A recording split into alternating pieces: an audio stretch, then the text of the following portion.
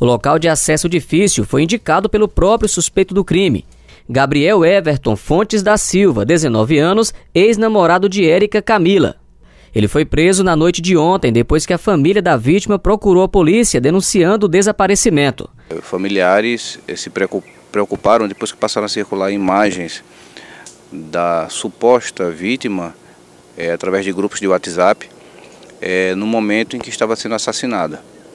Então, é, diante disso, a, as informações foram, foram chegando. Ontem à noite a Polícia Militar fez a condução do Gabriel, o Everton, né, conhecido como Zé Maguim, que era o ex, que era o namorado da vítima. Eles haviam terminado o relacionamento há pouco tempo.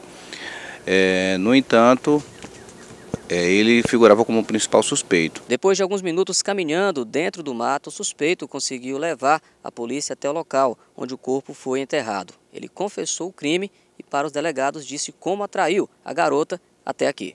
Ele disse que convidou ela para fazer uso de entorpecente, né, uma área que bastante usada para essa finalidade.